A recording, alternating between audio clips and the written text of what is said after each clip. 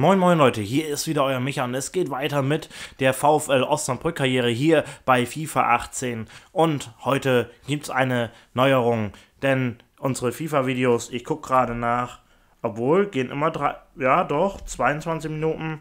Ich versuche, dass wir beide Spiele spielen, anstatt nur eins. Also, und dann starten wir aber auch direkt gleich rein, sonst schaffen wir das nämlich nicht und ich würde sagen, wir sehen uns wieder auf dem Rasen. Und da sind wir auch schon auf dem Platz. Und ich würde sagen, es geht los. Und was ich noch so zu sagen habe, ja, das mache ich einfach währenddessen. Aber erstmal konzentrieren wir uns auf dieses Spiel und auf einen guten Start, denn wir sind ja eigentlich immer schnell, schnell und führen immer in den ersten paar Minuten, aber gegen Magdeburg scheint das Ganze ein bisschen schwieriger zu werden. Okay, wir lassen uns drauf ein und nehmen den Kampf doch gerne an. Schön hinten rumgespielt. Jetzt durch die Mitte. Reimering auf Iowa. Reimering. Ei, das war ein sehr schlechter Pass in die Spitze von Reimering. Aber jetzt heißt es auf der Außenbahn kämpfen. Ah, schade. Okay. Erstmal sammeln und gucken, was passiert. Jetzt kann man attackieren. Oh. Magdeburg kommt als erste Mannschaft einmal komplett durch und kann sogar abschließen, aber längst nicht so gut, dass es gefährlich wird. Und jetzt sind wir am Ball. Und jetzt würde ich sagen, sind wir auch an der Reihe. Eieiei, von hinten in die Beine. Das kann eigentlich nur eine gelbe Karte sein. Und zu Recht. Er ist einfach von hinten in die Beine. So. Wir machen den ganzen Freistoß kurz. Und dann in die Mitte.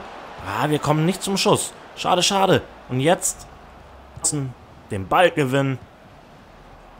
Weiterspielen. Reimering. Reimering mit der Flanke. Und die ist gut. Die ist stark, aber leider, leider kam der Teuter als erstes am Ball. Und Iowa scheint sich bei dieser Aktion auch noch leicht verletzt zu haben. Da gehen wir gleich kein Risiko. Der darf dann schon duschen gehen. Dann darf er sich erholen gehen.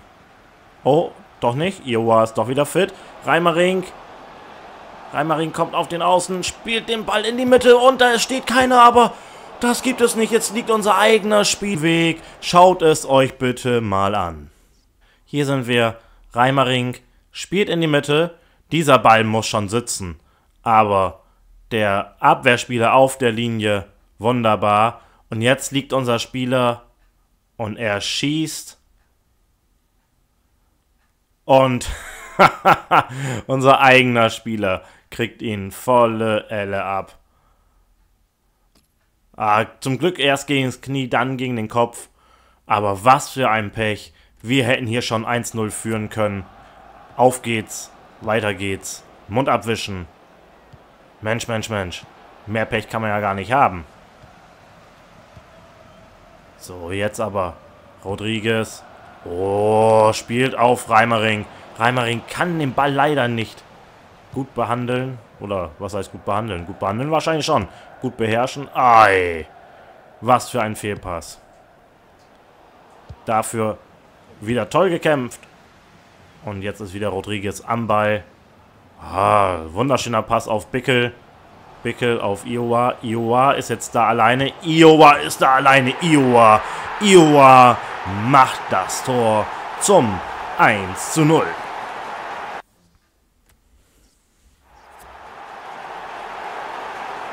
Hier sehen wir es nochmal. Wunderschön durchgesetzt. Und flach unten in die Ecke. Nichts zu halten. Iowa mit dem elften Tor. Wunderbar. Dafür, dass wir vorhin schon etwas Angst haben mussten um ihn.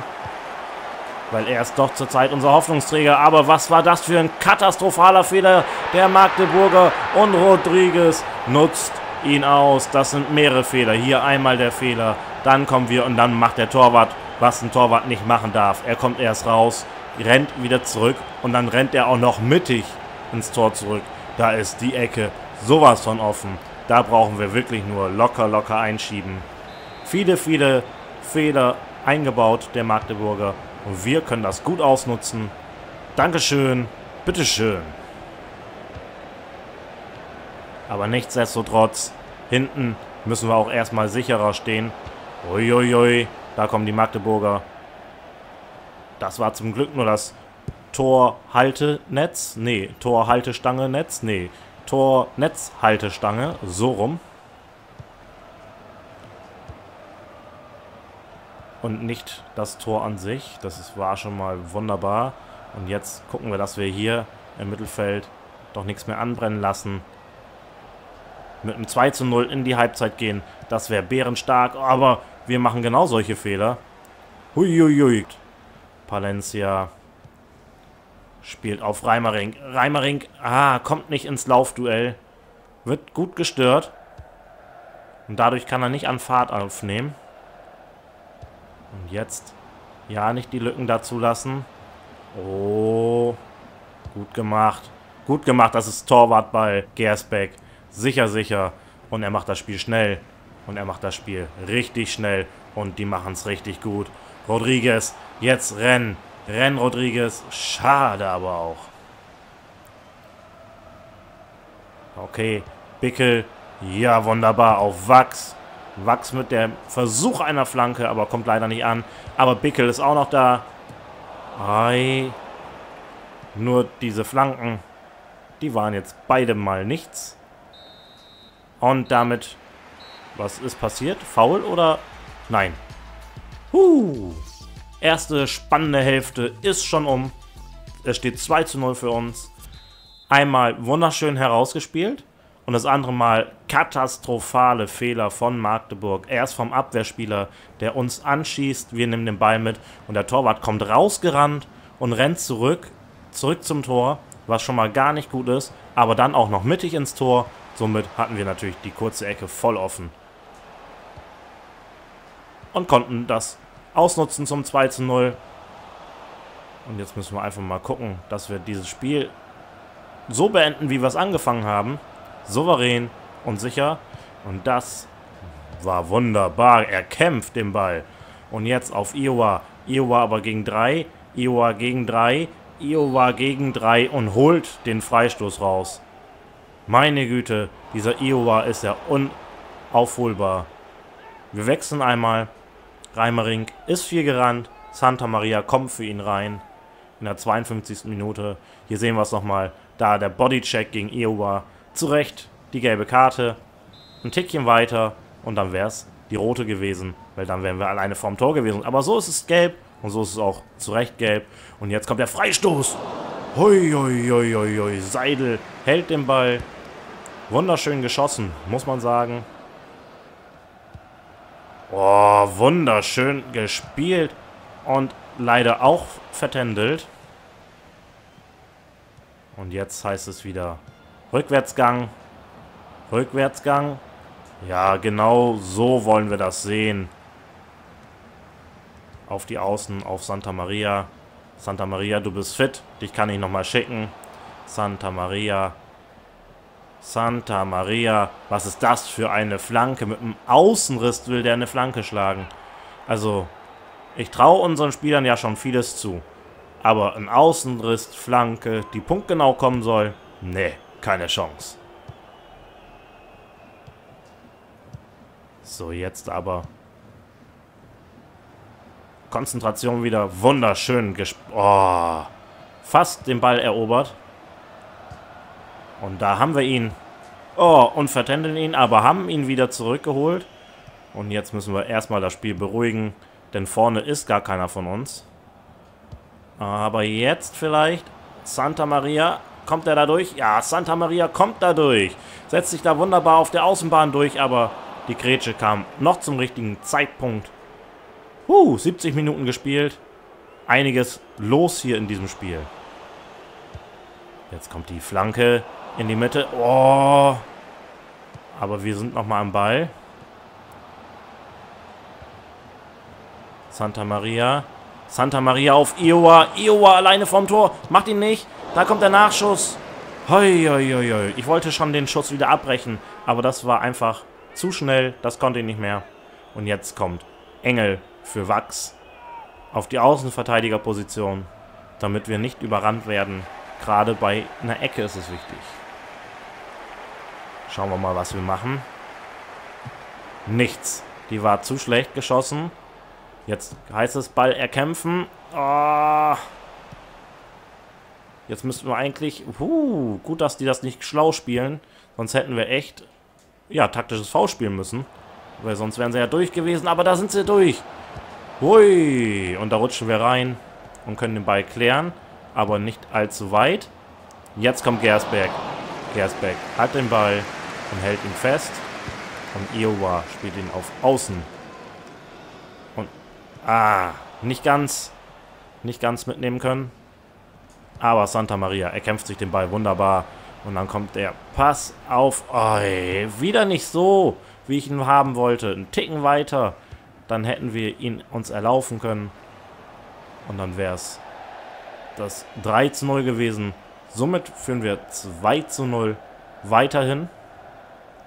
Durch zwei, ja, starke Tore. Auch wenn das eine eben ein Fehlertor war. Aber naja, man muss auch erstmal den Ball dann so machen. Und Iowa ist da. Iowa, er ist einfach unglaublich. Er macht das 3 zu 0. Das Hochersehnte und macht damit auch den Deckel drauf. Spiel Nummer 1 gewonnen. Sicher in der Tasche. Dank Iowa. Und ich würde sagen, wir geben Iowa auch eine Pause. Könnte jetzt auch jemand anders eine Pause gebrauchen. Aber Iowa hat sich das verdient. Iowa darf duschen gehen. Nach einem wunderschönen Spiel von ihm. Wunderbar. Und er war in der Anfangszeit ja auch hier im Spiel verletzt. Ich weiß nicht, was er da hatte. Aber er hat jetzt schon zwölf Tore auf seinem Konto. Die Torjägerkanone kann er sich ergattern. Das glaube ich schon. So, 3 zu 0. Wir wollen aber auch zu 0 spielen. Das heißt also, hinten wieder gut aufpassen. Ja, wunderbar. Da kommt das auch. Schon der nächste Ball. Ah, der war nicht so super. Der war nicht so super, aber die Abwehr macht wieder einen katastrophalen Fehler. Aber Alvarez ist einfach nicht so schnell wie Iowa. Aber setzt sich da gut durch. Aber das ist doch kein Schuss. Egal. Abgerutscht. Keine Ahnung, was passiert ist. Aber dieser Spielzug war nicht so toll gespielt. Iowa ist der schnellere von den beiden. Gut, komm vor. Wir führen 3-0. Es gibt Schlimmeres. Jetzt aufgepasst. Nicht noch einen auf den Deckel kriegen. Ja. Drüber geschossen. Gersbeck kann den Ball nach vorne knallen. Was wir gleich machen, wir werden gleich Gersbeck erstmal die Nummer 1 geben, denn er ist ja auch unsere Nummer 1. Und hier sehen wir es. Der Sieg ist wichtig. 12 Spiele, 8 Siege, 4 Unentschieden, 23 Tore geschossen, 7 gekriegt, 28 Punkte, 5 Punkte vor dem zweiten. Und wenn wir mal überlegen, von 23 Toren hat Iowa einfach mal 12 geschossen. Und dann würde ich sagen, wir sehen uns gleich in Spiel Nummer 2 auf dem Rasen wieder. Und da sind wir auch schon im zweiten Spiel, haben Anstoß. Wie gesagt, Heute gibt es zwei Spiele und das versuche ich jetzt eigentlich auch durchzuziehen. Nicht immer eins simulieren, sondern wir spielen einfach beide. Dann haben wir auch das Optimale in der Hand und müssen uns nicht auf den Computer verlassen. Und dann wünsche ich uns einfach jetzt mal viel Erfolg auf, fürs Spiel Nummer 2, damit wir sechs Punkte heute aus dieser Folge rausnehmen. Und wenn euch das Ganze so gefällt, wie ich es mache, oder auch generell, dann gebt der ganzen Geschichte hier einen Daumen. Und wenn ihr wieder wollt, dass wieder nur eins Spiel kommt und eins simulieren, dann schreibt in die Kommentare, dann weiß ich Bescheid und dann gucken wir mal, was wir machen. Und ich kann euch versprechen, ja, versprechen will ich es eigentlich nicht, aber ich versuche, und zwar kriege ich vielleicht bald eine eigene Zockerecke.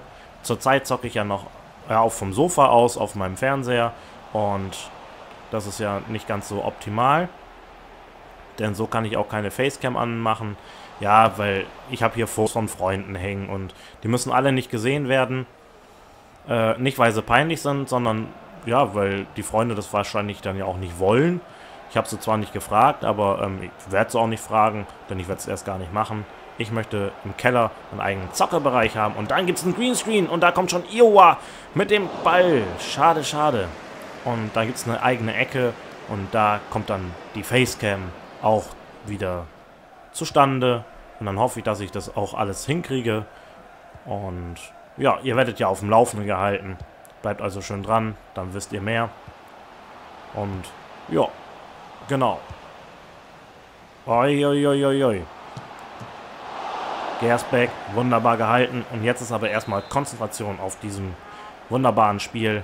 Denn Hansa Rostock ist kein allzu leichter Gegner. Aber das haben wir gerade auch von Magdeburg gesagt. Ja, sie waren ja auch nicht einfach, haben nur einen katastrophalen Fehler zum falschen Zeitpunkt gemacht. Und dann stand es schnell 2-0 und die Sache war gegessen. Oh, den Gefallen könnte uns jetzt Hansa Rostock auch mal machen. Iowa, schade. Aber da ein, gingen vier Leute alleine durch. Das hätte ich noch nicht mal Iowa zugetraut, obwohl ich dem schon sehr, sehr viel zutraue.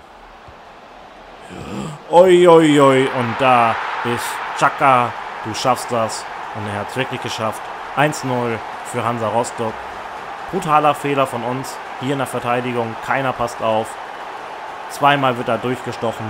Tja, Pech gehabt.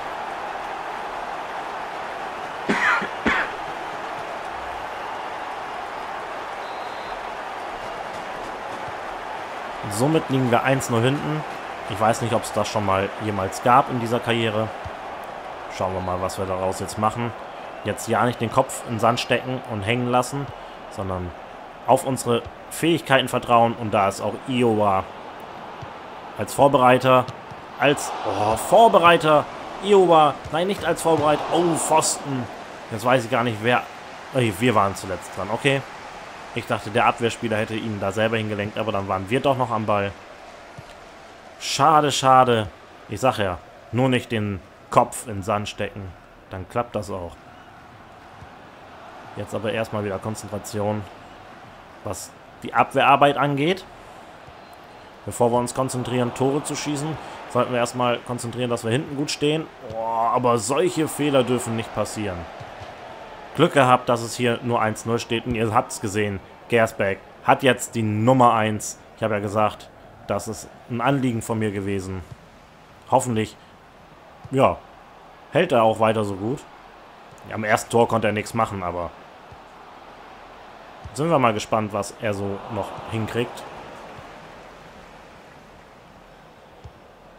Da ist Iowa, aber er ist auch alleine da vorne. Bickel auch schon lang nichts mehr so richtig gesehen. Keine Torvorlage, kein Tor. Der hat uns am Anfang, ja, die Siege beschert. Und lässt jetzt gerade ein bisschen nach. Schauen wir mal, dass wir jetzt was Gutes hinkriegen, aber wieder nicht. Und wieder kommen die da zu leicht durch unsere Abwehr durch. Uiuiui, das war aber auch wirklich wieder in allerletzter Sekunde. Aber wie ihr seht, ich komme da nicht durch. Ich kann keine vernünftigen Passstaffetten aufziehen. Wir bräuchten ja den Ball mal, um nach vorne zu kommen. Der Einzige, der immer den Ball hat, ist Iowa da vorne gegen vier alleine. Jetzt wäre es mal die Chance gewesen, aber Halbzeit ist Halbzeit. Können wir nichts gegen machen. Hoffen wir einfach mal auf Halbzeit Nummer 2, die jetzt auch anfängt. Und dann wollen wir hier das Ganze hier noch drehen. Huh, jetzt muss ich mich hier gerade mal ein bisschen durchschnaufen. Oh, aber so nicht. Jetzt vielleicht. Aber wir sind da vorne. Hier, das sind sieben Mann und wir sind zu dritt. Wie sollen wir denn da durchkommen? Das heißt, wenn wir das nächste Mal einen Ball haben, müssen wir erstmal nach ganz hinten und alle Mann mit nach vorne ziehen. Aber dann passieren solche Lücken. 51. Minute sollten wir schon wechseln. Nein, die sind noch fit. 51. Minute und wir haben noch nicht sehr viel in diesem Spiel hingekriegt. Iowa hat einen Schuss gehabt. Aber jetzt auch. Jetzt können wir hier vielleicht mal kontern. Nach einer Ecke. Nach einer Ecke könnten wir vielleicht mal kontern. Aber wo bleibt Iowa? Da ist Iowa. Setz dich durch. Nein. Er bleibt am Fuß hängen. Ah, alle Hoffnung auf unseren Stürmer. Aber er kann auch nicht immer derjenige sein, der uns hier aus dem Schlimmsten rauszieht und in jedem Spiel drei Tore macht. Iowa jetzt auf Außen. Na, stand doch noch der andere Spieler davor. Er holt sich aber den Ball stark wieder. So. Und jetzt hat Iowa mal Platz. Und dann spielen sie das schön, aber dieser Schuss, naja. Dann wechseln wir mal in der Offensive. Santa Maria kommt jetzt rein. Oh, es gibt Eckball. Dann ist auch verständlich, dass der Ball so weit daneben ging. Ich habe gedacht, das wäre schon unser Schuss gewesen und das war die Ecke. Kommen wir nicht dran und der Nachschuss. Nochmal geschossen. Wir kommen hier nicht durch. Iowa kommt nicht zum Schuss. Schade, schade. Scherazade. Ja, Iowa ist einfach unser neuer Held. Ganz klar. Er alleine durch die Spiele vorher und dass er schon zwölf Tore hat von 23, die wir alle geschossen haben. Iowa ist hier bei uns in Osnabrück der neue Held. Das denke ich schon. Und vielleicht zeigt er es ja auch nochmal. Iowa. Na? Ah, schade. Aber er kämpft da vorne und versucht alles, um da noch was hinzukriegen. Oh, wir haben einen Verletzten. Sollten wir gleich mal gucken, wer das ist. Und dann auch rausnehmen. Na. Wieder nicht. Den Ball zurückerobert. Wir sind in diesem Spiel immer einen Schritt zu weit weg. Und jetzt schauen wir erstmal, wer sich da verletzt hat. Weyer hat sich verletzt. Dann wechseln wir ihn aus. Dannenberg kommt. Und ich glaube, ja, Bickel könnte vielleicht auch mal gewechselt werden. Bickel und dann kommt Rennecke. So, und dann haben wir unsere drei Wechsel auch getätigt. Wir können nicht mehr. Ja, den machen wir sowieso schon, den Wechsel. Von daher brauchen wir den nicht mehr annehmen. So, noch eine Viertelstunde zu spielen. Schauen wir mal, dass wir jetzt hier noch was hinkriegen. Santa Maria auf Iowa. Wir spielen das wunderschön, die beiden. Santa Maria. Und da kommt die gefährliche Flanke. Die war abgefälscht. Plaswitsch kommt da noch sehr gut ran. Die wäre gefährlich geworden. Boah, und da fälscht er dann ab. Und dann fast in den eigenen Kasten rein. Gucken wir mal, was wir jetzt aus der Ecke hier machen. Iowa war nicht am Ball. Dürfte Einwurf für uns geben. So ist es auch. Santa Maria auf den Außen. Na, setzt sich da nicht durch. Ah, noch 10 Minuten. Kommt, Jungs. Wir wollen hier noch Punkte mitnehmen. Und zwar mindestens ein. Drei wären es schon schwierig. Aber so, wie wir da verteidigen. Mensch, Mensch, Mensch. Der ist ja ganz alleine. Aber das ist auch eine schlechte Flanke. Huiuiui. Mit sehr viel Gottvertrauen den Ball da hinten rausgespielt. Und jetzt müsste der Ball oh, auf Iowa kommen. Aber wir kriegen den Pass da nicht hin. Jetzt vielleicht nochmal. Noch fünf Minuten sind ja zu gehen. Iowa ist da ganz alleine gegen so viele. So, Santa Maria. Santa Maria auf Rodriguez. Rodriguez. Iowa. Iowa mit dem Pass. Schade. Wieder nicht angekommen. Der letzte Pass da fehlt es noch ein bisschen. Und das muss sich schnell ändern, denn jetzt ist das Spiel gleich vorbei. Santa Maria, Ball abgefälscht. Es gibt nochmal Eckball in der 90. Minute. Puh, nehmen wir noch einen Punkt mit. Wir sind gespannt. Aber durch so eine Ecke nehmen wir keinen Punkt mit. Nicht einen einzigen. Santa Maria, Iowa, Iowa, Iowa. Jetzt will es wissen. Iowa, Will's wissen? Ah, oh, und kriegt den Pass wieder nicht gespielt. Schade, schade. 1-0 Niederlage gegen Hansa Rostock. Nichtsdestotrotz, Iowa ist einfach unser neuer Held. Ihr könnt es gerne in die Kommentare schreiben, ob ihr es genauso seht. Ich sag ja, was ihr sagt, das könnt ihr dann wirklich reinschreiben, dann kann ich das lesen. Und dann machen wir uns ein Gesamtbild. Aber ich glaube schon, dass Iowa vorne nicht mehr für die dritte Liga zu ersetzen ist. Und dann würde ich sagen, der Part ist schon lang genug. Habt noch einen schönen Tag. Man sieht sich. Haut rein. Bis denn. Das Schaude. Tschüss. Bye bye.